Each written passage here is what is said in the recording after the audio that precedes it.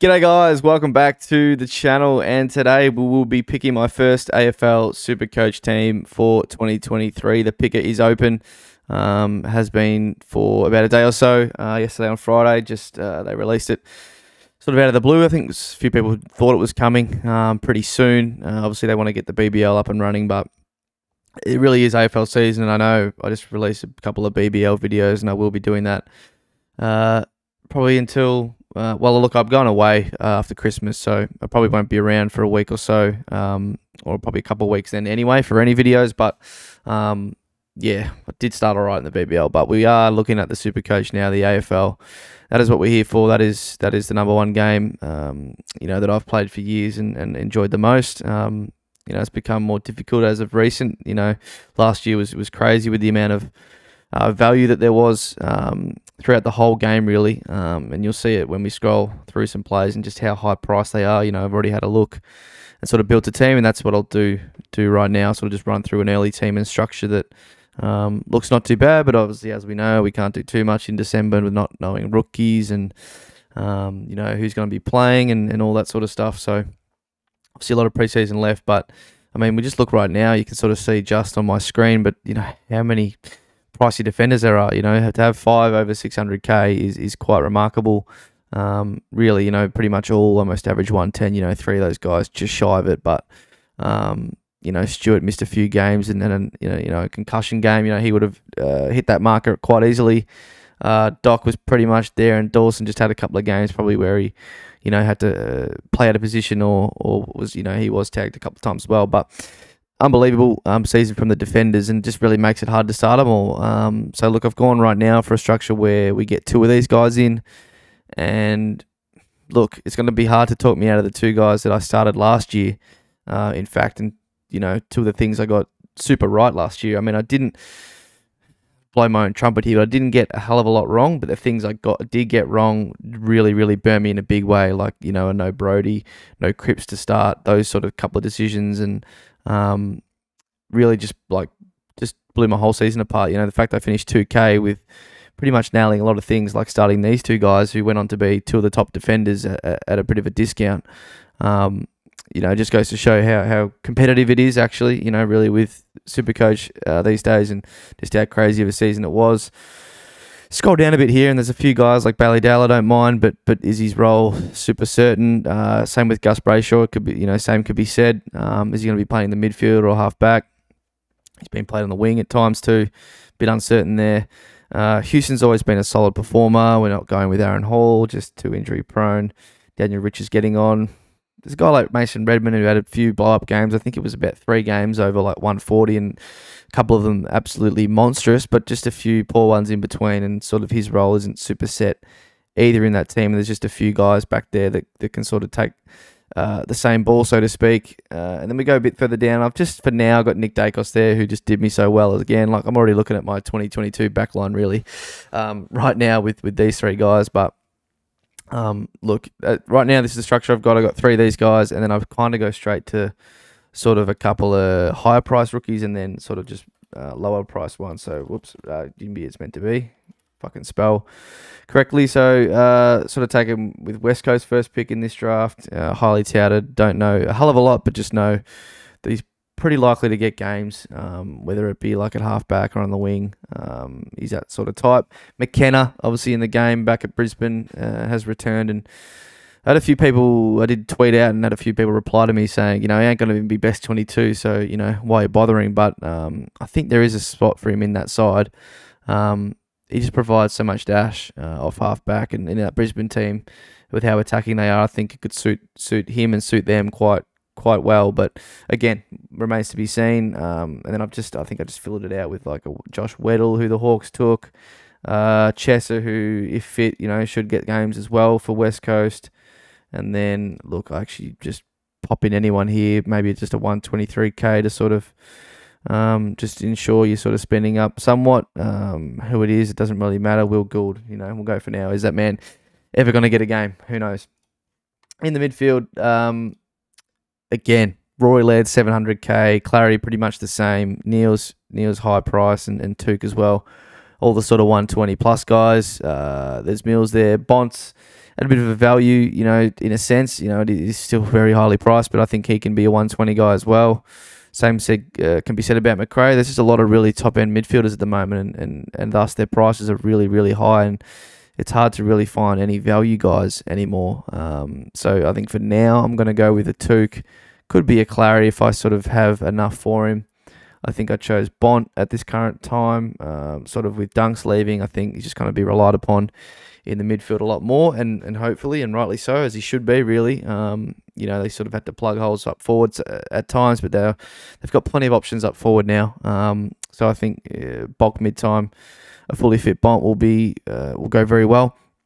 A bit further down, you know, oh, so many 600k guys, and I think Parish just above 600k entices me a bit. Just um, you know, just finds a footy with ease. You know, he's not gonna he's not gonna punish you, but he's sort of death by a thousand cuts. And I think in that Essendon team, he's just obviously the clear number one guy. And then Jack Steele is a bit of a value as well, who was also the clear number one guy at St Kilda.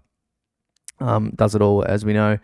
And uh, look, he did not burn me, but I did get him in last year, and he, he did his shoulder sort of a couple of weeks later, but fully fit. Um, you know, he he's again a 120 uh, plus player. Um, you know, at his best. Obviously, he's priced below that, so he's a little bit of a value as well. And then I think I filled it out with uh, probably one of the locks who have been quite a lot of teams is Jacob Hopper um, getting across from the Giants to Richmond at 330k. He's going to start in our midfield. And look, uh, I don't think he's going to go absolutely nuts, but I think he's going to make enough money to be a worthy selection in our teams. Uh, then I've sort of, I think I've just gone straight down to Ashcroft. Obviously, son to Brisbane. Um, you know, priced a little bit as as you are when you're a number one pick, but um, I think he's going to find a spot in that team pretty quickly. And then Will Phillips, who again, obviously not totally sure if he's going to be going to be you know one fit and firing, but he did have a glandular fever and a bit of big sickness sort of the last year, and, and he is uh, quite cheap, you know, because of that. Uh, and then I think I just went like this. Finn Macrae is there at 123k, whether he's best 22 or not, who knows. Um, look, the rest doesn't really matter. There's a few obviously other draftees like your, your Cam Mackenzie, your Phillipou, your, your Elijah uh, Tsatas at, at Essendon as well. But you know, obviously we'll see if those guys get games, and then obviously we'll have to pay up a little bit more um, if we if we need to. Uh, Oscar Baker is one I did see a few Dogs fans think who might get a game for them coming across uh, from Melbourne, but yeah, who knows there. Rucks. Now, Rucks is going to be very um, very tough and big talking point for uh, season 2023 because uh, number one, you just look down the bottom there, you see Grundy in a Melbourne with a Melbourne icon, and it still doesn't look right. But him and obviously Gawn in the same team, how that's going to work. Witts at 600k after he's sort of uh, amazing season out of the blue. Um, English, who you know many of us got in and, and did disappoint in the second half. Uh, same could be said about Big Shrek, who um, still, you know, turned out a decent season in the end, but 1-2 is probably not quite going to cut it. But who knows with the Rucks uh, at the moment? You know, Rob there at 101, and then it's sort of, you know, your Nick Nat, who obviously didn't play much of the year. Blicavs there, Nank, who actually had a decent season himself, and could be an option at 5.30 now with, you know, Richmond having a, a bit of a midfield. But again, I probably wouldn't go there. And then Grundy down there at 5.12, you know it's hard. I don't know if I'm going to go there because of what the setup is, but he could be sort of the first ruck with Gawn floating, you know, whether that's in defence as an interceptor or sort of playing more forward. Who knows? Rowan's there as well, but with Max King going down, it's hard to know how much forward time he's going to uh, have to play. Then there's DC, who was awesome for me last year, one of the great trade ins that sort of helped me uh, stay with the pack um, as well. And, and with Grundy obviously going, he might be you know relied upon to, to do the sole rucking, which which could prove to be an option. Um, and then you sort of scroll further down. There's sort of Lloyd Meek. Some people have looked at Scott Lycett, Sam Draper. None of those really entice me. So for now, I've got English and I've got Darcy. Um, and it was sort of what I was almost going to start last year, and obviously missed out with English, who who did go quite well very early on. Um, and sort of with Shrek obviously having a couple of niggles here and there. But look, for now, I just think that's the go.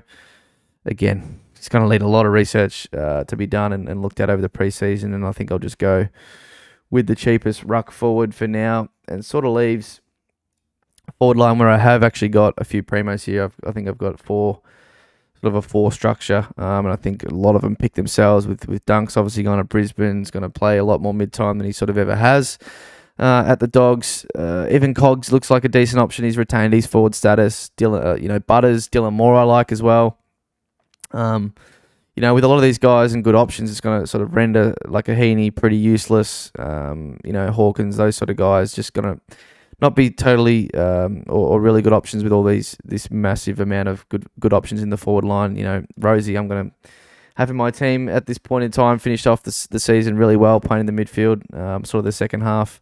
And then Tim Taranto, again, going to be in a lot of teams. Um, he's going to frustrate a few, and, and I think a lot of us know that who, who've owned him in the past, watched him, you know, as his career's gone on, he's, he's sort of that frustrating player with his efficiency, but he is going to find the ball a lot and he's going to play a lot in the Tigers midfield. That's why he left the club. Uh, he wanted to, um, I mean, you know, in a video, in it, sorry, in an interview I saw, he didn't. He said he didn't really want to leave the Giants, or, or was did find it hard to leave all his mates there, but it was for, um, you know, his career decision. Wanted to play, you know, he's been in the league six, seven years. He wants to play the rest of his career in the midfield and, and for a big club, and, and that's what he's going to do. He is going to annoy us, um, no doubt, um, with some of his games, but um, that's just the nature of it. Uh, and how he plays. And then I think I went with Big DC. So talked about him before. It could be an option if we have two confident rucks, or sorry, two rucks we're confident in to start and do well. DC could be that um, option. And look, if he is an option himself, you could start him in the ruck line, obviously as well. Um, but I don't mind him as sort of that, um, you know, that cover. You know, you're have to have, to have cover, especially with the two guys I picked, English and Darcy, blokes who both missed a couple of games here and there in 2022. Having DC as sort of that cover, um, you know, seems like a good option. But again, um, who knows? Even if I'll go with that that uh, ruck line, and then uh, a guy who will be in a hell of a lot of teams is Toby McLean. Um, coming back, did play a bit of midfield in the last couple of games. Uh, you know, and in, in a final when he when he came back into the team, I think I went with Joe Richards again. Rest of the rookies aren't too important. Maybe, maybe a Van Rooyen. I saw. You know, he could get games for for Melbourne or one of the Davey boys as well for for the Bombers. Who knows? But that just fits with five k left over. Um, so right now it's sort of a sort of a three, three, four, two, four sort of set up with sort of a mid pricer in Hopper and then sort of a couple of higher priced uh, rookies in sort of your, your, Ginbey, McKenna, Ashcroft, McLean, those sort of guys, and obviously see in the preseason how many of those become viable. But um, look, it's back. Uh, we'll be doing a lot of content. Um, me and the other boys, George, JD, um, probably a podcast tomorrow as well. Um, just sort of the first thoughts and, and sort of an outlook on content and some feedback um, as well. Um, yeah, join the Discord. That that stuff's always going to be uh, popping off in there, and then yeah, get back into it in January. Big big few or couple of months for the preseason. So. Uh, thanks for watching. Let me know what you think. A uh, few any surprises, you know, with some pricing. I know Cunnington, a lot of people were looking at. There's a Fyfe. Uh, I'm sure we'll talk about on the podcast as well. You know, Cunnington's 419 kind of makes him a bit useless. Five three thirteen. I've seen a few still interested in him. You know, a couple of those photos always floating around of Fyfe and his biceps at this time of year, but that obviously doesn't um, equate to anything on the field. But um, yeah, let me know how you sort of uh, see the pricing and and, and, the season playing out with a couple of um, you know with the structures and whatnot. But again, it obviously is very very early for for any of that to be set in stone. But um, thanks for watching, guys, and uh, we'll see you on the next one. Cheers. Out the coupe at the.